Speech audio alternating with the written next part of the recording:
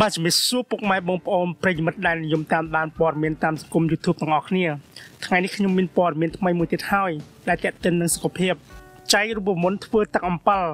ទទួលទានក្នុងមួយថ្ងៃមួយកែវសម្រក់ទម្ងន់បានយ៉ាងឆាប់រហ័សមានសុវត្ថិភាពល្អមិនចាំបាច់ពឹងលើថ្នាំពេទ្យឲ្យមានហានិភ័យសម្រាប់ដែលអ្នកកំពុងស្វែងរកវិធីសម្រក់ទម្ងន់ដែលអាចធ្វើបានងាយងាយ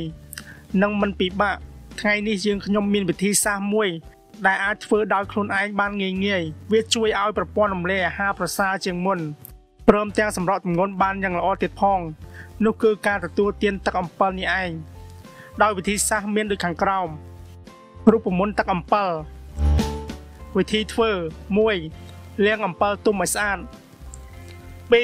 យកអំពិលទុំទៅត្រាំទឹក ដោយត្រាំទុកចោលរយៈពេល30នាទីឲ្យសាច់អំពិលរីក3ពេលគ្រប់30នាទីហើយ ត្រូវប្រើដៃច្របាច់សាច់អំពិលឲ្យរលាយរួចត្រង់យកតែទឹកអំពិល4យកទឹកអំពិលទៅដាំ ដោយប្រើភ្លើងមធ្យមលាយជាមួយទឹកស្អាតបន្តិច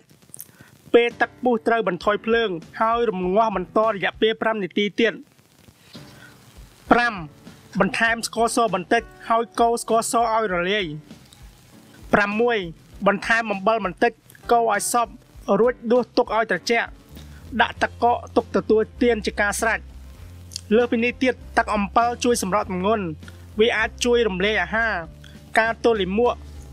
ស័កសមបំផុតសម្រាប់អ្នកដែលមានបញ្ហាការរំលាយអាហារហើយអំពិលមានគុណតម្លៃជាឱសថដូចខាងក្រោមមានវីតាមីន C ខ្ពស់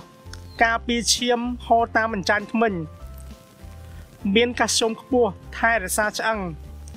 បំបត្តិក្អកស្លេះ ធ្វើឲ្យបំពង់កមានសំណើមការទល់លាមក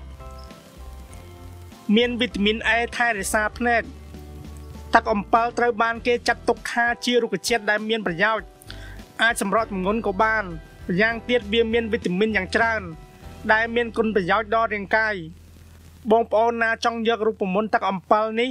ទៅធ្វើទទួលទានដោយខ្លួនឯងគឺធ្វើបានយ៉ាងងាយចង់ធ្វើលក់ក៏បាន សូមសាកល្បងយកទៅធ្វើទាំងអស់គ្នាធានាថានឹងជាប់ចិត្តតែម្ដង